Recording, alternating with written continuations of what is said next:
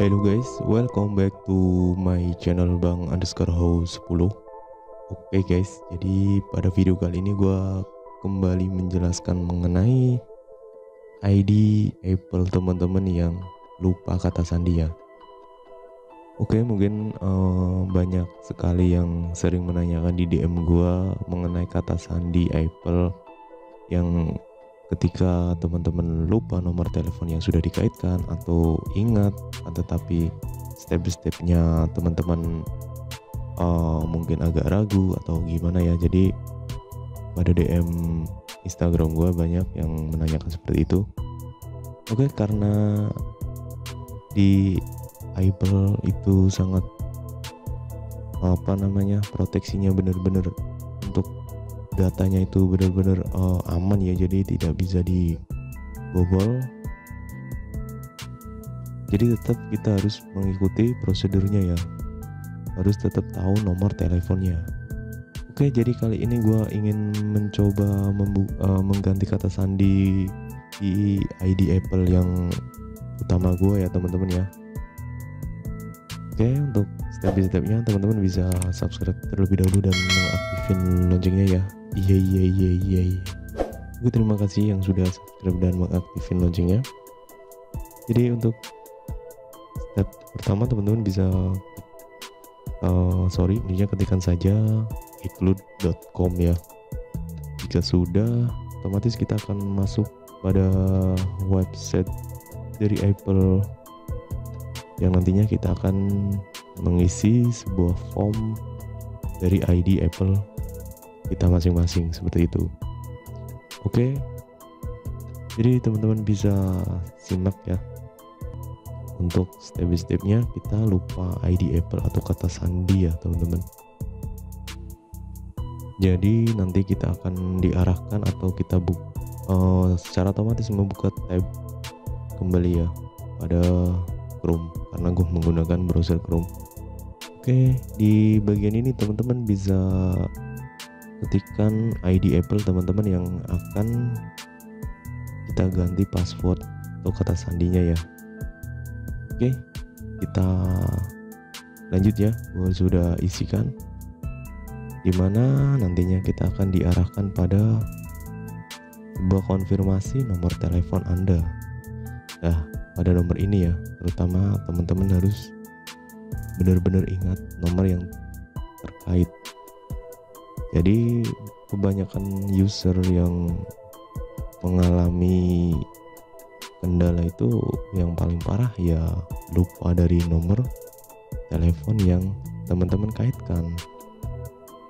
Kalau semisal teman-teman masih ingat dan nomor itu hangus itu masih kita bisa ajukan dan kita tetap menunggu dari konfirmasi pihak Apple seperti itu teman-teman Oke, kita isikan terlebih dahulu ya teman-teman ya. Oke, jika sudah kita next atau kita lanjutkan ya. Nantinya kita akan diarahkan sebuah carilah pemberitahuan yang tampil pada iPhone Anda. Jadi karena gue tidak login di uh, iPhone gue, otomatis kita akan menggunakan yang tindakan yang kedua ini ya, tidak memiliki akses ke iPhone Anda. Kita nantinya akan diarahkan ke sebuah uh, form yang nantinya kita akan masukkan kode yang telah dikirimkan ke nomor kita ya teman-teman ya. Oke, kita istikan karena udah masuk juga ada SMS dan kita lanjutkan ya teman-teman. Oke. Jadi di langkah yang selanjutnya dari pihak uh, atau sistem dari Apple-nya otomatis mengirimkan juga teman-teman mengirimkan sebuah kode yang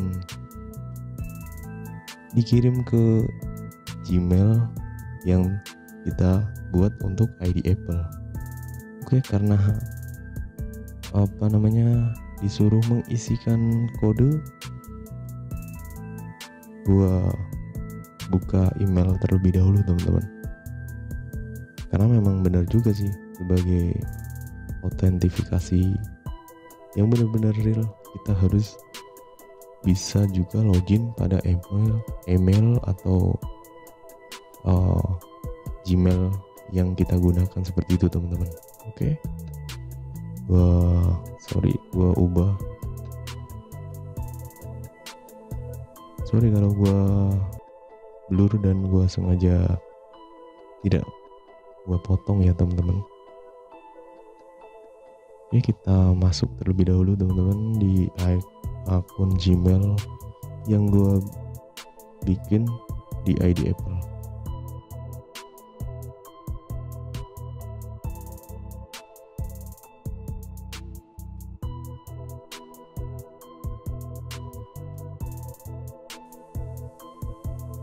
Oke kita konfirmasi. Jika sudah kita coba membuka kodenya ya di inbox Gmail masing-masing.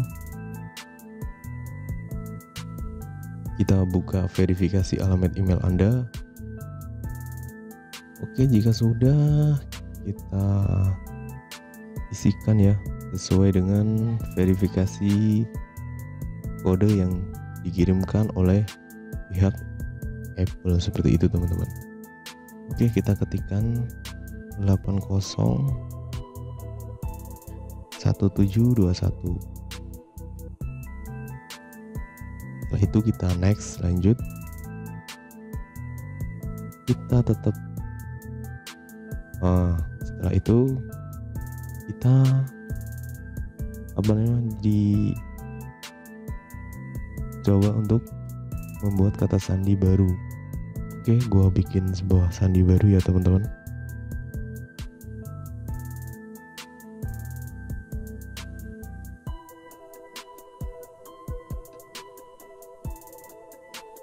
jadi diusahakan ada sebuah karakter huruf kapital dan juga numerik seperti itu teman-teman.